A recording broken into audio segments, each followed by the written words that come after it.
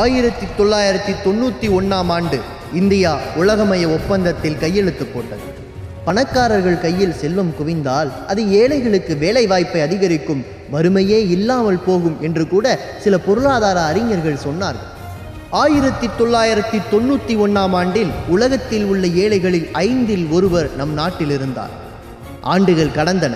இருபத்தைந்து ஆண்டுகளுக்கு பிறகு உலகில் நான்கில் ஒரு ஏழை என்கிற அளவில் அந்த எண்ணிக்கை அதிகரித்திருக்கிறது. நம் குழந்தை செல்வங்களை கூட வறுமை கடுமையாக பாதித்திருக்கிறது. நம் நாட்டில் உள்ள ஐந்து வயதுக்கு உட்பட்ட குழந்தைகளில் நாற்பத்தி மூன்று சதவீதம் எடை குறைவாக இருக்கிறார்கள். குறைந்த வருமானமுடைய மற்ற நாடுகளில் இந்த சதவீதம் இருபத்தி இரண்டு தான். நம் நாட்டில் உள்ள குழந்தைகளில் சரிபாதி பேருக்கு வளர்ச்சி குறைபாடு இருக்கிறது.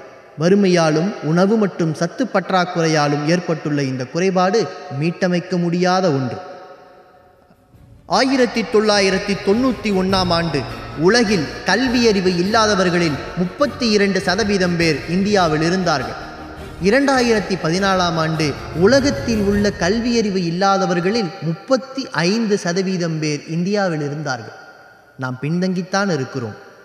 சராசரியாக நம் நாட்டு குழந்தைகள் நான்கு புள்ளி நான்கு ஆண்டுகள் தான் பள்ளியில் செலவிடுகிறார்கள்.